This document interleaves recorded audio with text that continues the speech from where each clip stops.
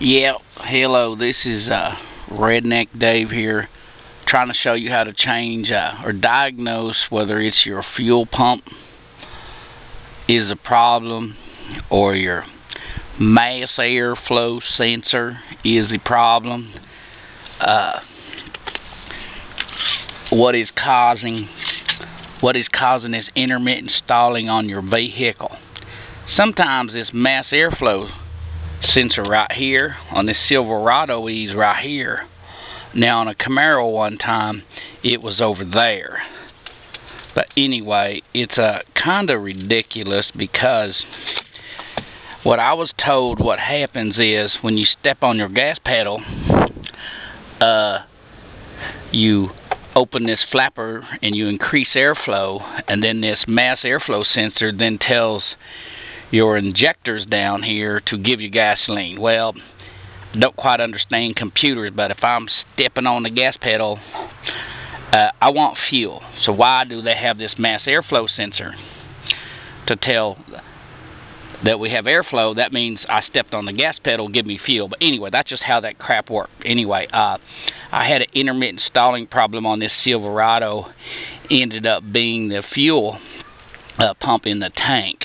And the rest of the my other video shows how to change that out. But I had a code on it, and I went down to the O'Reilly, and the O'Reilly uh, self-made genius at O'Reilly's had me plug in his little code thing, and it was uh, I don't know what this thing is called, but I paid $134 for it, and I changed it, and that was not the problem.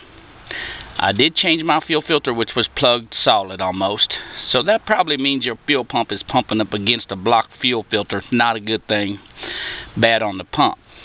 But one time on a Camaro, I changed the mass airflow sensor, which was right here. Uh, actually, I changed a fuel pump first. That was not the problem. It ended up being the mass airflow sensor intermittently not giving fuel uh, fuel to my uh, injectors. So, I guess the video is what the hell is the actual problem, you know? You got a plug filter. Do you have a bad uh, fuel pump? Is the mass airflow sensor not sending fuel? Just what exactly is the problem? Well, the most important thing on this Silverado and all your other cars is if you've got a if you got a problem with uh, fuel, check the fuel pressure.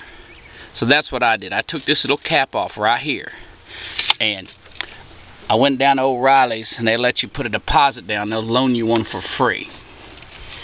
And uh, anyway, this is after they t uh, the code said it was this thing over here, and that had nothing to do with it. Uh, something to do with your exhaust, little check valve bullshit, no idea. But anyway, I, and uh, I put my uh, regular fuel uh, air fuel pressure gauge on right there and it told me I was like 35, 40 pounds of fuel on, and I'm supposed to have a steady 55. So I ended up changing out the whole uh, fuel tank, uh, fuel pump in the tank, and uh, but any car you should check the uh, fuel pressure. If your fuel pressure is fluctuating and not good, change your filter. If it's still not good, that your fuel pump is probably bad in the tank. But an intermittent cutting out and stuff could also be the mass airflow sensor. But check fuel pressure. My fuel pressure was low, so that's why I went there. Also, uh, because of the other video, I would like to show, the other video shows how I cut a hole in the bed of my truck. This is just a patch after I got done. Bed liner, go back in, no big deal. But watch the rest of this video show you how to change that out, save you about six hours worth of work. Because I'll be working I be working down at the Walmart. And, uh, so anyway, to recap, if you got low fuel pressure, you either got filter problem or your pump. Probably the damn pump. Change the filter anyway, anytime you change pump. Filter's only 15 bucks. But I be working at the Walmart, and I ain't got much money. One time they gave me a 10 cent an hour raise and Sam Walton flipping around in his casket, and it caused an earthquake in Bentonville.